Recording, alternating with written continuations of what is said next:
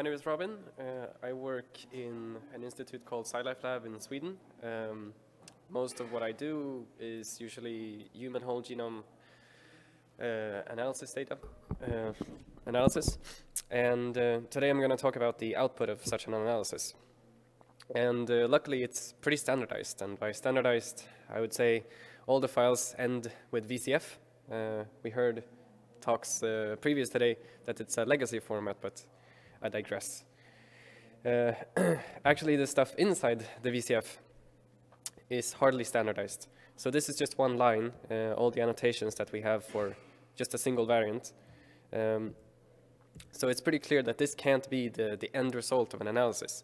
You can't really make sense of this. You have to process it some more. So this is what we set out to do. Um, and certainly there's uh, a lot of motivations to do more robust tools that can scale up to maybe thousands of samples and, and so on uh, with dedicated databases. But we wanted to also kind of find a niche where we have a tool that's super easy to install, intuitive to use, uh, etc. Uh, and maybe for more of a research case where you have a VCF, you have all the annotations already in the VCF, and you just want to visualize it in a more intuitive way. So this is what we built, uh, Puzzle. Um, and you can install it. Uh, it's built on uh, Python. We use a Flask server that we spin up in the background uh, and a very lightweight backend uh, in SQLite. So you can install it with pip and soon also with uh, Conda, we hope. Uh, and here I'm just downloading some, some sample data, some VCF files. and if you've used MultiQC, we follow a similar pattern where we just point to uh, a folder and it will try to figure out what files in that folder structure uh, that it can visualize. So it will list them here on the left side, uh, all the VCFs that it finds, and all the samples that are included in those VCF files. So if we dig into one of the VCFs, uh, you will see a list of all the uh, variants.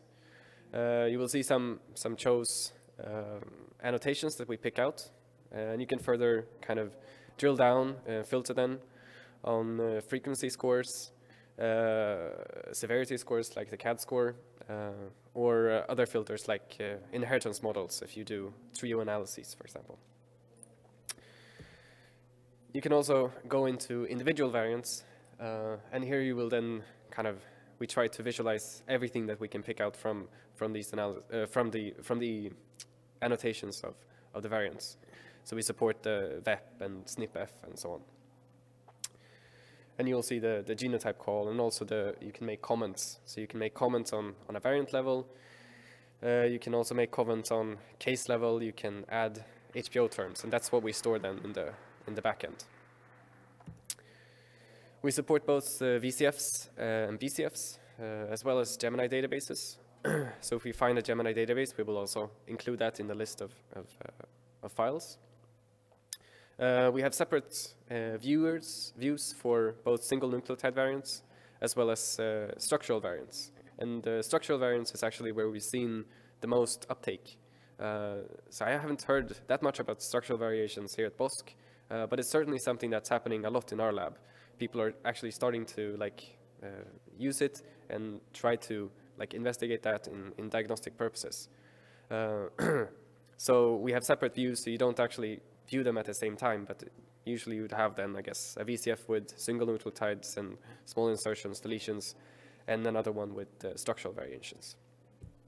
Um, yes, the, the project is up on GitHub. You can go there, read the README, hopefully, and you can test out the service uh, and the tool. Um, and uh, yeah, that's it. Thank you.